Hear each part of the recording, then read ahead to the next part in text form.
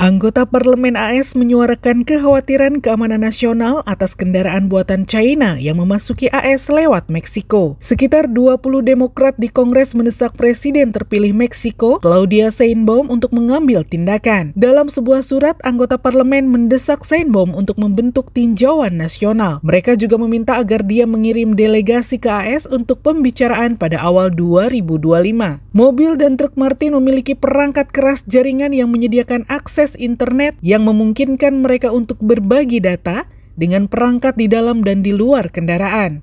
Dengan cara ini, mobil buatan China dapat berbagi data yang mereka kumpulkan di jalan-jalan Amerika dengan produsen di China.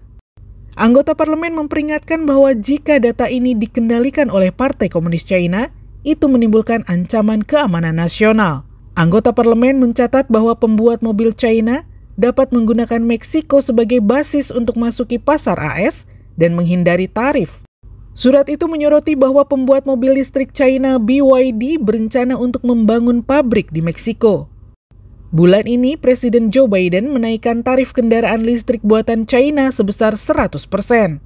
Minggu lalu dia mengusulkan larangan perangkat lunak dan perangkat keras China di kendaraan yang terhubung di jalan-jalan Amerika.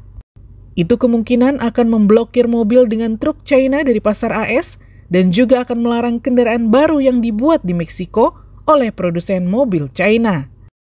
Taktik lain dari kontak peralatan rezim China tampaknya digunakan secara penuh. Penggunaannya membantu perusahaan China menghindari tarif yang dikenakan oleh Barat. Sekelompok peneliti Australia melaporkan pada hari Rabu bahwa untuk menghindari tarif tinggi di AS dan tempat lain, perusahaan China telah membuang lebih dari 1.100 miliar dolar untuk membangun proyek bersih di luar China dalam dua tahun terakhir. Berikut selengkapnya. China mendominasi ekspor produk teknologi bersih seperti kendaraan listrik, baterai litium, dan panel surya.